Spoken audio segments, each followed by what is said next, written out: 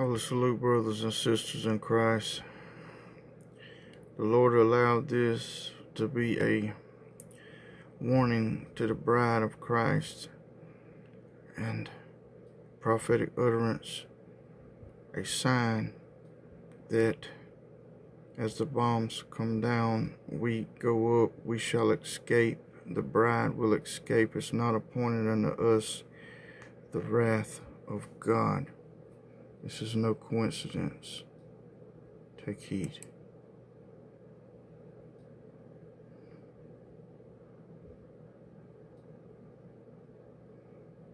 Being caught up.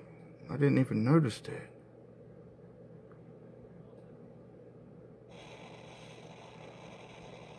Bombs come down.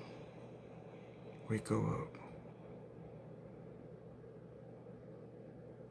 Bride is escaping with the bridegroom.